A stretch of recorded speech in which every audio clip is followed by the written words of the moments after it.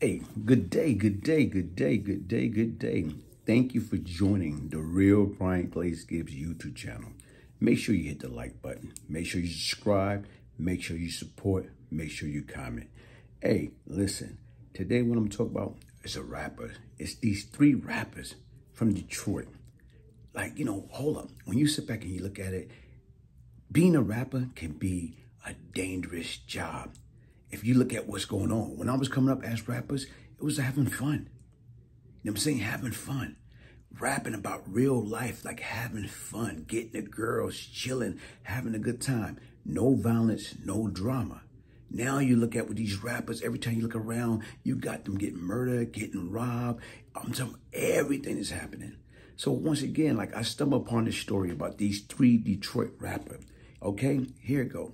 The disappearance of three aspiring rappers who were scheduled to perform in Detroit before they went missing has their family fearing the worst.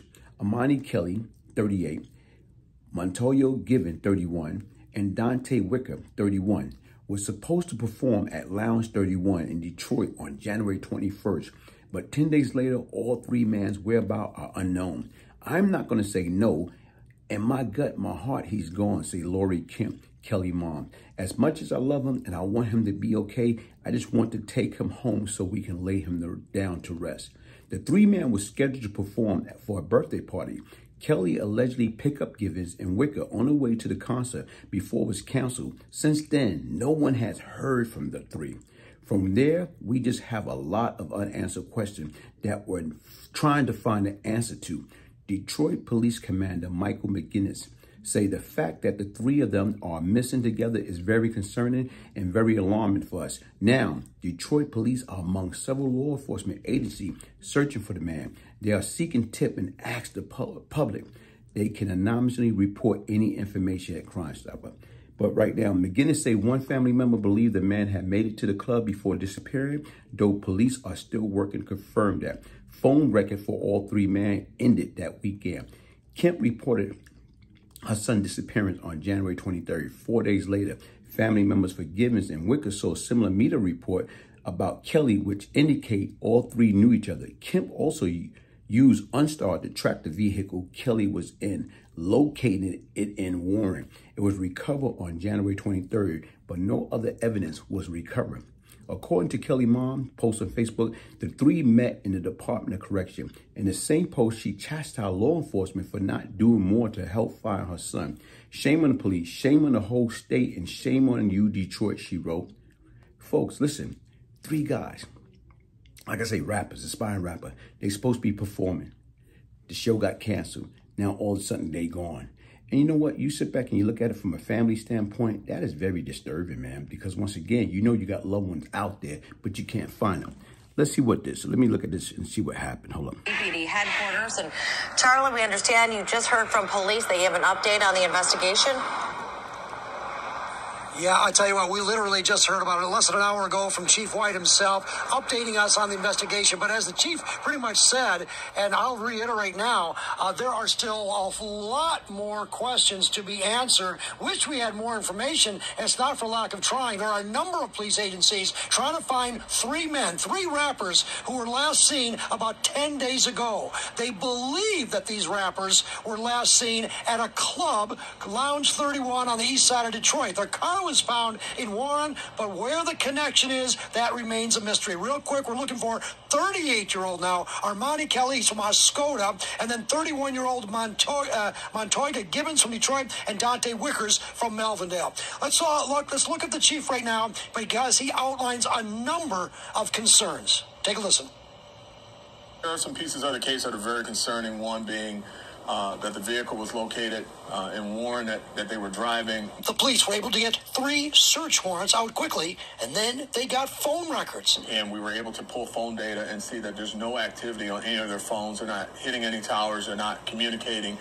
Um, that's also very concerning. More concerns. But the working theory is now that all three of the men did make it to Lounge 31 to perform some rap show, but that show got canceled. That's the theory. Um, we know right now that they were together at some point, all three. Um, we know that at this point that the event was canceled at Lounge 31. Um, what we don't know completely is what happened from that point, and if they left together or, or what.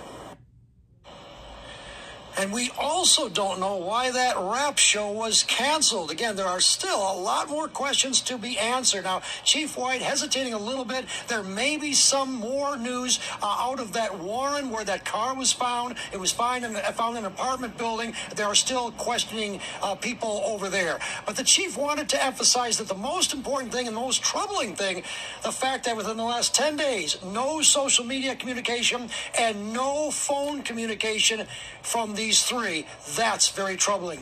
One other thing the chief wants to make it known that if anybody out there has any information about these three, give the Detroit police a call. Taryn, I'll send it back to you. Well, you mentioned their phones, Charlie. Were they able to ping them before they went off? I mean, do we know where these three individ- individuals were when their phones were still working? Was the, la- uh, the lounge the last place that they were um, heard from on their phone? Yeah. Yeah, they, they the search warrants. They actually got the search warrants uh, on the uh, on the uh, uh, for the phones. Uh, they were all pinned before January 21st. So since January 21st, no pins, just no communication.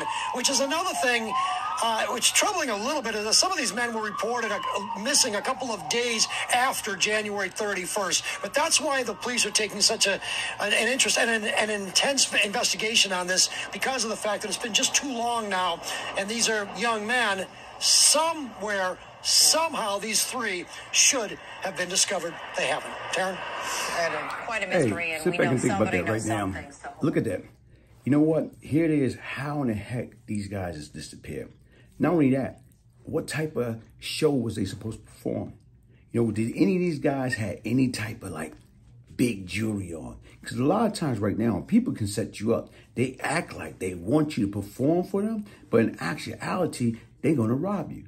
So I don't know, man. But what I'm saying right now, folks, listen, man, be careful, be aware. You know what? Trust nobody. Trust is not given, trust is earned. Hopefully, we have a peaceful peaceful resolution with this whole situation. And these guys i'm saying return back to their family or at least the family get some type of form of closure.